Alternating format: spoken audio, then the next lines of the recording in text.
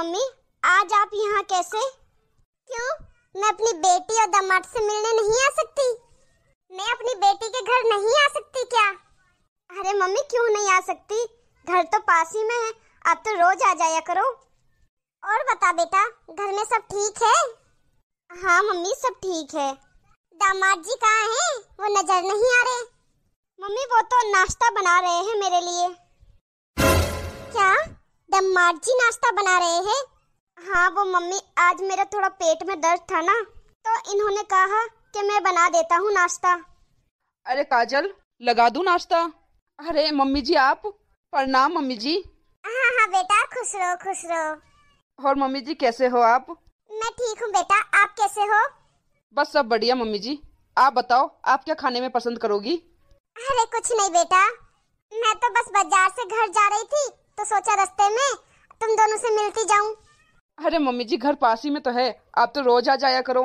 ठीक है बेटा। चलो मैं आपके लिए गर्मा गर्म चाय और नाश्ता लेके आता हूँ। तब तक आप दोनों बातें करो। कितने अच्छे दामाद जी है।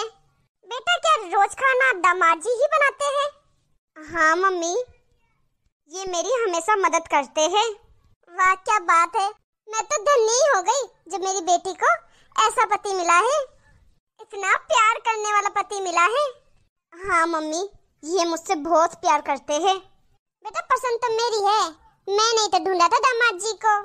बस बेटा तेरे चेहरे पर ऐसी ही खुशी रहे। और क्या चाहिए मुझे? और इस खुशी की ज़िम्मेदारी मेरी है मम्मी जी। आप तो ये चाय पीजिए और बताइए कैसी है। थैंक यू बेटा।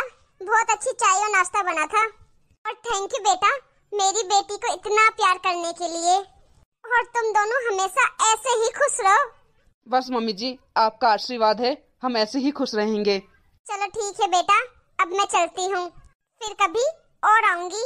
ठीक है मम्मी जी कभी भी आ सकते हो आप। आप ही का घर समझो ये। ठीक है चलती हूँ अब। काजल अब कैसी है तुम्हारी तबीयत? पहले से फ़र्क है अभी थोड़ा। चलो अच्छी बात है ये। अरे मम्मी जी अपना पर्स तो यहीं भूल गई। हाँ मम्मी जी तो पर्स यहीं भूल गई। आप एक काम करो घर जाके मम्मी को दे आओ ये पर्स। ठीक है मैं दे आता हूँ। हाय थक गई आज तो मैं।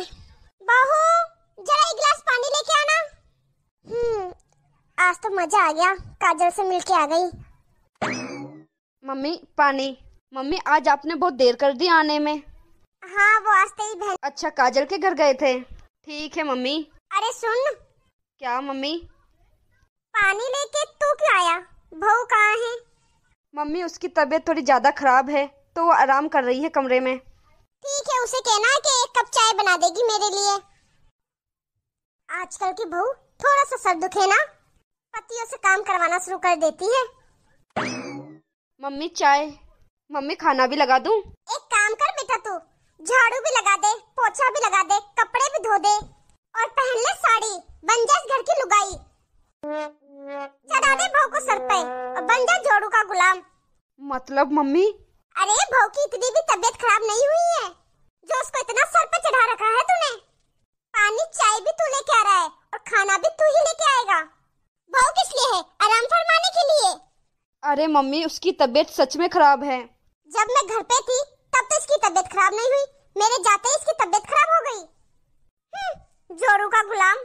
मम्मी आप खामो खाम बात का बतंगर बना रही हो। देख अपने रंग दंग देख पता नहीं क्या जादू कर दिया है बहू ने तेरे पर जो तुम मुझसे जबान लड़ा रहा है। मम्मी जी सच में मेरी तबीयत खराब है। मैंने इनसे कहा था कि मैं कर लेती हूँ काम पर इन्होंने ही मना कर दिया था। तू तो बहू रहने दे एक तो मेरे बेटे के ऊपर पता नहीं कौन सा काला जादू कर दिया है ऊपर से मेरे सामने भोली बन रही है। नहीं मम्मी जी ऐसा एकदम चुप। और सूरज तू कान खोल के सुन ले। खबरदार जो आज के बाद मैंने तुझे काम करते हुए देखा तो। अरे जीजा जी आप यहाँ? अरे दामाद जी मम्मी जी आप अपना पर्स भूल गई थी। वो देने आया हूँ मैं। अरे दामाद जी आपने तकलीफ़ क्यों की? मैं आ जाती लेने। आओ बेटा बैठो। चाय बनवाती हूँ मैं तुम्हारे लिए। नहीं मम्मी जी मुझे घर पे कुछ काम है। मैं चलता हूँ। अरे जीजा जी इतना भी क्या ज़रूरी काम है? आओ बैठो ना। नहीं भैया घर पे जाके किसी को सबक सिखाना है। सबक? किसे बेटा? आपकी बेटी को मम्मी जी। क्या मतलब दामाद जी? मतलब मम्मी जी आजकल आपकी बेटी कुछ ज़्यादा ही ड्रामे करने लगी है। मुझसे कहती कभी मेरा सर दर्द हो रहा है मेरा पेट दर्द हो रहा है कभी मेरी तबीयत ठीक नहीं है। मेरे साथ काम में हाथ बंटवा दो काम कर दो। मैं क्या जोरू का गुलाम हूँ? लेकिन आज आपने सिखा दिया मम्मी जी। इन औरतों की कोई तबीयत खराब नहीं होती। इन औरतों को काला जादू आता है। ये औरतें अपने पतियों को अपने बस में करके रखती है। अरे नहीं बेटा उसकी सही में तबीयत खराब थी। वो थकी हुई लग रही थी। उसने आपके ऊपर कोई काला जादू नहीं किया। अरे नहीं मम्मी जी इन औरतों को सही में काला जादू आता है। ये सही में अपने पतियों को अपने बस में करके रखती है। आज देखता हूँ मैं उसको घर में जाके। ये सही में बीमारियों का बहाना बनाती है। ये औरतें कभी बीमार नहीं पड़ती। अरे बेटा कोई गलत फहमी हो गई है। वो सच में ही बड़ी बीमार लग रही थी। अच्छा मम्मी जी आप अपनी बेटी से चंद मिनट क्या मिली? और आपने पता लगा दिया कि वो बीमार है। उसकी तबीयत खराब है। आपने एक बार भाभी जी को देखा? आपको ये बीमार नहीं लग रही? पता है मम्मी जी, प्रॉब्लम क्या है? प्रॉब्लम ये है कि दमाद सबको अच्छा चाहिए। दमाद आप लोगों को ऐसा चाहिए जो आपकी बेटी को प्यार करे, जो आपकी बेटी के काम में हाथ बंटवाए। बेटी के बीमार होने पर दामाद उसकी सेवा करे। लेकिन अगर बेटा बेटा अगर अपनी पत्नी से प्यार कर रहा है तो बहू ने उसके ऊपर काला जादू कर दिया है, अपने बस में कर दिया है। मम्मी जी, आपकी बहू भी किसी की बेटी है, किसी की बहन है।